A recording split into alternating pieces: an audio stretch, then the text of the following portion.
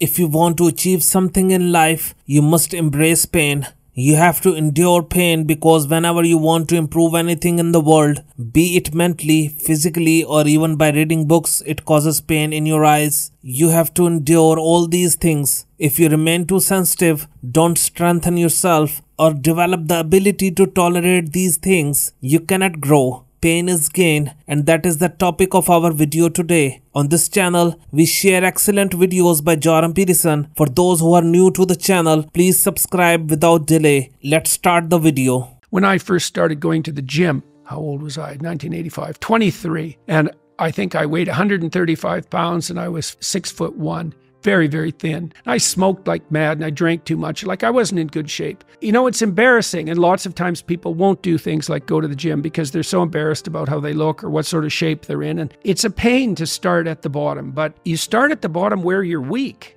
And if you want to rectify what's weak, you have to accept the fact that you're at the bottom and that the first steps are going to be painful. You know, I, I stopped smoking and then I stopped drinking and I gained 40 pounds of muscle in like three and a half years, something like that. I got a lot more physically confident and a lot more coordinated. One of the main reasons people are highly inspired by Jordan Peterson's word is that he has practically changed his own life. He has worked hard to improve his life and has experienced the things he talks about. The reason his words are so powerful is that he has gone through the process himself. The way he explains that you have to start from somewhere, whether it feels good or bad, but the start is when you are weak and you have to change yourself. You know there's a problem within you and you have to start from somewhere. Believe me, when you change, those who used to bother you, maybe teasing you or making fun of your body, will appreciate you. To achieve that feeling, you have to convince yourself and you have to take the first painful step. Until you endure the pain, the game won't start. This is the essence of life.